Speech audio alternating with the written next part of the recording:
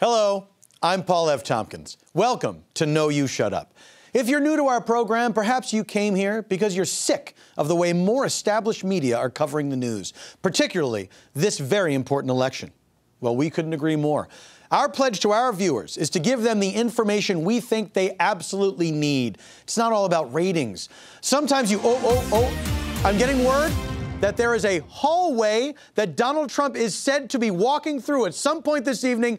We will keep monitoring this hallway for Mr. Trump's passage. This is No You Shut Up. On this week's show, Thomas Lennon does some sexy juggling, and John Hodgman makes an imaginary salad. Gently coat with dressing, don't drown it. We begin tonight with highlights from Tuesday's primaries. Please welcome our Shut Up the Vote election team. Gang, Super Tuesday 3, let's talk about it. Tuesday was an exciting night for both parties. Republican frontrunner Donald Trump extended his commanding lead, while Democrat Hillary Clinton had a night that Bernie Sanders would describe as huge. But the big story was how John Kasich won Ohio, barely kept his campaign alive, and impressively handled the most confetti anyone has ever seen. Wow, look at this guy. Hey, Kasich, hear that sound? It's the sound of every 15 year old Mexican girl in America crying into their churros because you stole all the quinceanera confetti! He gets all that for winning his own state. If he wins anywhere else, he's gonna end up getting shot to death by a thousand t shirt cannons. Boom shakalaka. Sports. Let's quickly check in with that hallway to see if Donald Trump has arrived yet. No. Hillary Clinton's recent gaffes didn't seem to change voters' minds, and her speech was strategically boring and free of any references to the Reagans or AIDS. What terrible gaffes could she have made? Ooh, ooh, ooh, ooh, ooh, oh, uh, she could have congratulated Donald Trump on opening up a national conversation on race. That would have been terrible. Or congratulated Bill Cosby for opening up a national conversation about mixed drinks. Good fantasy gaffes, guys. We now wrap it up with this sad story out of Florida. While it is not God's plan that I be president in 2016 or, or maybe ever, and while today my campaign is suspended, the fact that I've even come this far is evidence of how special America truly is. That's right, Marco Rubio. You never had a chance. God doesn't like you, and He's the ultimate super delegate. So put on your tiny lady boots and take an inner tube back to Cuba. Star.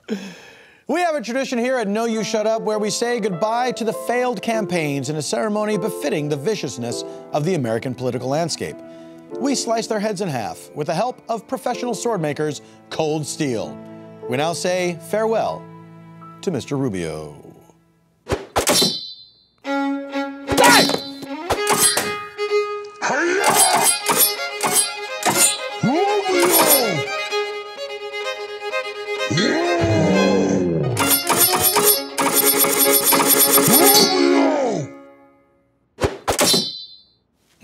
Very satisfying.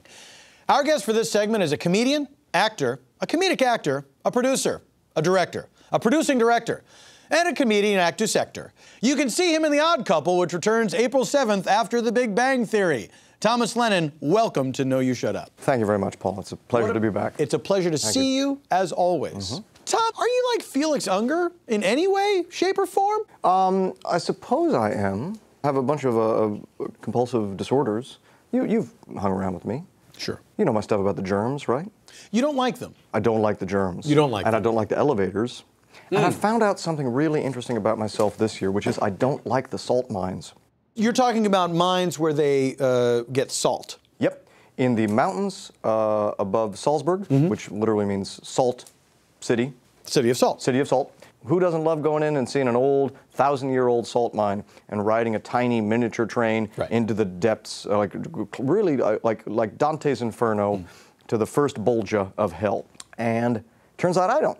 I had a full-blown panic attack, Paul. And you know who else got to discover it at the same time was a, a group of German elementary school children. They discovered this about you. They got to discover it about me, and they got to think, oh, der, here is Felix Unger from the odd couple who is crying, and it looked like he has wet himself. What is it about f- the character of Felix Unger that German children love so much? Precision. You know, he would get the trains running on time. Tom, we've been talking here for a little while now, but none of it has been about Donald Trump. So let's talk about Donald Trump. Well, the, um, we're pretty good friends. I, I thought you knew that. You know, I'm I'm currently uh, Donald Trump's speechwriter. So Like most people, I assume that Donald Trump's speeches are all stream of consciousness ramblings filled with insults and brags. Not true? Uh, wow, that's the, the most naive comment I've heard in a long time. Because when Senator Trump is, is out on the, the campaign trail, actually, every word you hear him say is carefully scripted by me. Yes. Wow. I mean, can we see? Why don't we roll a clip of one of the speeches? We, I think we have footage of, of me at, at a rally. I hope that we do. But we're going to find out if Arnold is quick, because if he's not quick, he's not going to look good. When you have Omarosa and all the other ones coming at you, you got to be quick. I love our vets. You know, in New Hampshire, they have a tremendous vet population, and I will tell you, we won New Hampshire, by the way. We won South Carolina. We won everything. We won Nevada. We won Nevada. I hope Arnold does really well. But I was going to do that, and they, they, I mean, they actually renewed the show with me in the upfronts, and uh, I just, I just said I can't do it. I'm not going to do it. I have the magazine, other things. Get him, get him out of here. Get him out. Wow. A real peek behind the curtain, Yeah. Tom. Thank you for that. He's the But I'm curious, yeah. you seem like such a genteel chap. So, how are you able to write for someone that many people consider a disgusting human being? Watch your mouth, Oh. first off. I just have a little ritual that I do. I mean, it's uh, stupid. You, you don't want to, want to see it? I, I actually would like to see it. I could show If you If you. wouldn't mind, I would love to see it. uh, no, please. Let's see this, Tom. I'll, uh, let me show you the, uh, the process. I Okay. just, uh, it's, um, it's just a, uh, a process that I like, a vinyasa that I like to do, which is it just starts with this, which is I just do Trump face stretches. I trump my face for about 20 times, and then I do the tiny mad sandwich. I do mad sandwich, mad sandwich, and hate squats. I do hate squats. I do hate squats, and then I kick an immigrant. Kick an immigrant. That seems harsh, this but I see how it works please in don't interrupt context. the process Oh, because so I'm feeling sorry? it right now, and I'm Very just feeling sorry. the Trump is coursing in my veins like an eagle just landed on my heart in America in a wall. And now I gotta, oh my God, I gotta write the next Trump speech while it's fresh in my mind. Uh, okay? okay, okay, I go. gotta write it right now Absolutely. while it's fresh in my head. Ah, ah, witness me! Witness me! Well, I guess he's off to write that speech. Thomas, thank you for being on the show, and I hope your heart doesn't explode. Coming up, more No You Shut Up when No You Shut Up returns. Hey, I'm sorry, I just, I left my phone somewhere, I think. Oh, there you go. Oh, that's right, I didn't see it on the thing. Oop, You good? yeah, my lift is here. Oh, Yeah. Javier, two stars. Just my luck, huh? good luck, man. Thanks. But when she fell down dead in the street, the jewels that she had been concealing in her mouth spilled out. I love that Encyclopedia Brown. Yeah, it's a weird one, right? I know, right? Welcome back. Our next guest is an author, comedian, and thespian. His podcast is called Judge John Hodgman, a title that, in just three words, cleverly incorporates 100% of his name with one word left over to not say. John Hodgman, welcome. Thank you very much, Paul. You know, we're old friends, so it should be very easy for us to banter with each other. Well, we're doing it right now, John. Just a little back and forth, uh, uh, friendly banter. Yes. Uh, reminding people that we're friends and we're their friends as well. Well, we're not their friends, no. We're our friends. John Hodgman, if you were running for president, what would your slogan be? I am not your enemy. I think that establishes trust with the voter. Yes. And I like to say it very sternly Mm-hmm. so they understand that I'm being very sincere. John, I'm not naming names, but some presidential candidates are blaming political correctness for everything that's wrong with America. Agree or disagree? I agree to disagree. We should all be able to get along and We say exactly what we want to say. We should be. Why do you think, John, that it's so difficult for Americans to get along with each other? Well, Paul, some are from the wrong race or gender, and if that offends you, I'm sorry. I intended to. I'm not your enemy. I'm sorry if you were offended. If you were offended, I'm sorry that you have that problem because you're too sensitive. But, Paul, I really just came here for some serious political discussion. You want to talk about Trump? Yeah. Okay. John, I want to ask you about one of the more eyebrow raising moments in this election. Let's take a look. He referred to my hands. If they're small, something else must be small. I guarantee you there's no problem. I guarantee. Well, now, correct me if I'm wrong, John, but that is a presidential candidate talking on television about as you know. Yeah, Paul, that's right. And here's the thing I'm actually really glad you brought this up. I'm glad Donald Trump brought it up as well. I mean, the discussion about penis size doesn't get the analytic clinical recognition it deserves. I don't follow. You see, penis size can be used to study someone's merits for elected office. I'm talking size, girth, heft, shape, color, curvature, any distinguishing olfactory minutiae. These are all determining factors we at the Burns Johnson Research Institute use to predict how effective an individual will be if elected president. Uh, well, what about the testicles? Do they factor into this at all? Oh, you mean the bing bong dingle dangles? Precisely. No. Hmm, makes sense. Look, remember the recent media furor over Adolf Hitler's deformed micropenis, or what we call micropenis? Sure. Now, obviously, I can't show you photos on television, but Lady Wiener, if you wouldn't mind. Science! This is my research assistant, Lady Wiener, probably one of the brightest PhD candidates we've had at the Institute for some time. Dissertations are easy. That's right. you see, Paul, Hitler's penis can be best represented on TV by something like this. Lady Wiener, thank you. Ow. A man with a category 13 phallus such as this is more likely to be aggressive, insecure, and genocidal. No offense, Paul. Oh, none taken. Now, this represents Teddy Roosevelt. Now, this feels like it's all just feeding into generic stereotypes about masculinity and penis size. Well, that's a real shame, Paul, because this is purely historical. Every president is required by the oath of office to donate their penis to the Burns Johnson Research Institute after they pass on. It started back in 1889 when Grover Cleveland famously said, This thing belongs in a museum. The peni may be old, but our techniques are evolving very rapidly. Lady Wiener? Yep, here it is. Okay. Thank you. This belonged to Warren G. Harding, the White House's greatest lover. It's on loan from the Smithsonian. Here, Paul, would you like to take a look? Oh, absolutely. Oh, this is gonna make me some nice wallets. ah, not sure you're going to get that one back, John. Well, that doesn't matter. Still plenty of penises to go around, Paul. well, it is amazing what the Burns Johnson Research Institute has accomplished in this bold new field. And thanks to Donald Trump, the persistent work of countless penile scientists can now be brought out of the shadows and be part of the public discourse. Absolutely, John. Now, if Hillary Clinton were to become president, how would the Burns Johnson Institute study her? Good question, Paul. We wouldn't. More when No You Shut Up returns. And an open bar all night long, but don't tell him, okay? You got it. What are you guys talking about? Welcome back. If you're just joining us, we have gotten word that Donald Trump may walk down the hallway you see here. We'll keep the hallway in a little box on your screen, so we'll all be ready just in case. It's time for our panel discussion. Joining us this week, conservative Christian Star Schlesinger, Republican Congressman Oliver Pouch, and actor, model, and hot dog, Hot Dog. Hey,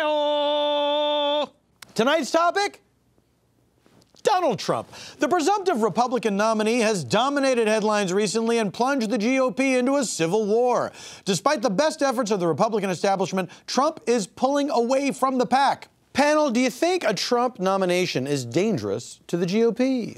Anyone can answer this question. Of course he's dangerous, pretending he's some everyman who loves the Bible. He's just another spoiled East Coast rich kid who only cares about himself. Well, I fell for that with both bushes, but I ain't eating your baked beans. Dogs shouldn't talk. You know, speaking of baked beans, it's a musical fruit. The more you eat, no. You know, that's something Trump hasn't done yet, and we have something to look forward to. He's going to walk out on one of these debate stages, he's going to cut one. It does seem inevitable. Yeah, doesn't it? Uh, Paul, you may not know this, but GOP stands for Grand Old Party. Old people throw classy parties with expensive vodkas and mixers. Sign me up! What is this voice you're doing? Yeah. Grand old party. Yeah, no, I heard you. Why? What is that? What is that supposed oh to be? Oh my! What a beautiful chandelier! I declare, I'm sweating out some vapors at this grand old party. I'd like a martini. Party, party, party. What was the question? Recently at Trump rallies, the Donald has been asking supporters to raise their right hands and pledge support to him. This gesture was almost immediately compared to the Nazi salute. Panel, is this an innocent gesture or a little too Sieg Heily? People raise their hands when they're asking a question. Are we going to blame a little kid if he raises his hand in school and asks a question like, how many Mexicans can we fit in these cattle cars? Something no, no, like no, no, no. Okay, here's the thing. I ain't defending Trump, but if we accuse everyone who raises their hand of heiling, then every New Yorker is a Nazi. And that place is chock full of Jews, so that don't make no sense. You mean like because they're hailing cabs? Yeah, they're raising their hands. I got you. You know, Paul, it's funny. I've actually been learning German by watching Baywatch dubbed into German. Uh, ich liebe Hasselhoff. Oh, watch out for the tidal wave. No. That wasn't German. That was just you did an accent and said, "Watch out for Yeah, that tidal the tidal wave is Oh. coming to the beach. That's more of an Austrian accent. Oh. It's really offensive. Immigrants are reportedly applying to become naturalized U.S. citizens at unprecedented rates in recent months. There could be as many as a million by the end of 2016, about 200,000 more than average. Many say these immigrants are naturalizing in order to vote against Donald Trump. Panel, what effect will the influx of new citizens have on the general election? Is it adios for Trump? There is no adios for Trump, Paul. You really think some immigrants are going to take him down? He could genocide Mexico and the angry whites would still vote for him. The train is off the rails and no one's behind the wheel. Embrace the chaos. Okay, here's the thing. I ain't happy about all these Emmys becoming natties, but at least they can vote for Cruz and then he can just kick them out when he gets elected. Hmm. Well, but if they're naturalized citizens, they can't be Cruz kicked will find a way. We are already here. We are immigrants from Germany. I hate that voice. Yeah, I hate I want to punch it in the face. Yeah. Yeah, it's a punchable voice, isn't it? Yeah, it's a real if that, punchable if that voice. voice had a face, you would want to punch it. One of the knocks on Donald Trump is his attitude toward minorities. I have a great relationship with African Americans, as you possibly have heard. I just have great respect for them, and and I, you know, they like me, I like them. Do they now? We sent our newest field correspondent, Brianna Baker, out to take the temperature of potential voters. Trumperature. Good one, Paul. I'm here on the streets of LA to find out just how much African Americans like Donald Trump. What do you think of when I say Trump? That works. That works. That definitely works. Kind of rhymes. Rich, pompous jerk.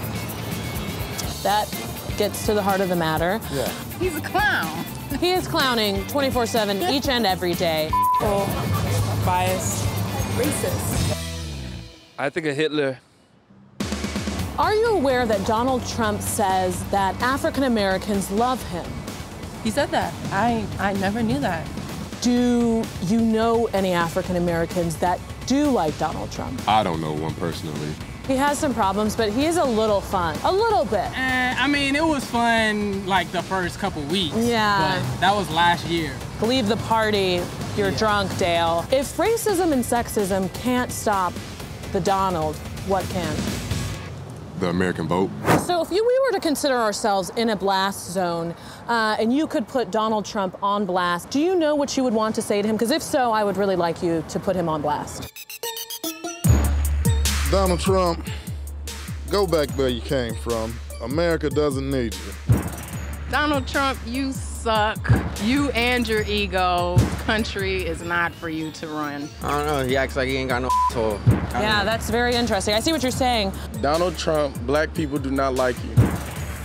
Uh, Donald Trump, you shut up. It turns out Donald Trump's relationship with the African American community isn't as strong as he thinks it is. How can he fix it?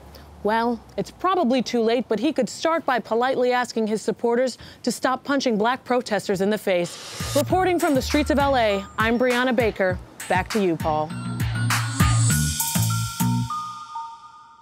Brianna Baker, thank you for your service. Wait, I thought I was the one that gets to go outside. More No You Shut Up when No You Shut Up returns. Maybe you'll never go outside again. How do you like that? I like going outside. Maybe you'll just maybe we'll lock you in here and turn off the lights. I don't want to be locked inside. No, you don't, do you? No. Welcome back. Panel, it is time to sound off. And rejoining us is comedian John Hodgman. So, gang, whom should shut up this week? Congressman Pouch will start with you. I would like to tell Donald Trump's ex wife, Marla Maples, to shut up. She's riding the Trump wave and doing the new season of Dance with the Stars. Listen up, Marla. A real Trump woman doesn't prance around doing the Lindy Hop, the Cat Daddy, or the Stanky Leg. A real Trump woman stands absolutely still, looks pretty in an age inappropriate way, and doesn't speak. Ever! So, shut up, Marla Maples! Star Schlesinger! I thank you, Paul. I'd like to tell the Republican Party to shut up. All I wanted was an original recipe American who loves God, guns, and traditional gender roles. Instead, we have this Cheetos mix up bag of idiots.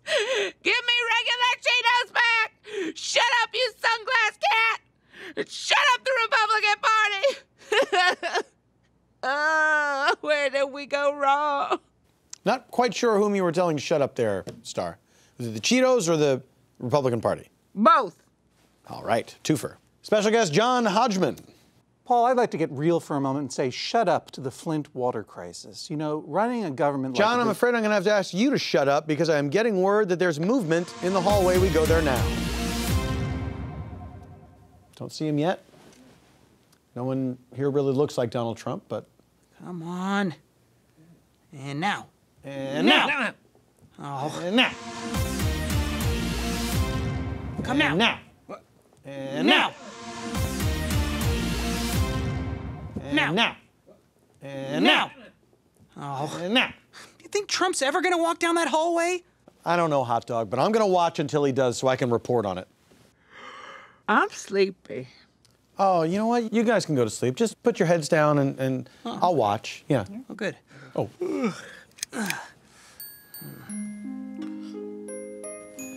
Well, that's all the time we have for this episode of No You Shut Up. We're going to take a little break. But remember, we're back June 9th with brand new episodes. So come back and see us June 9th.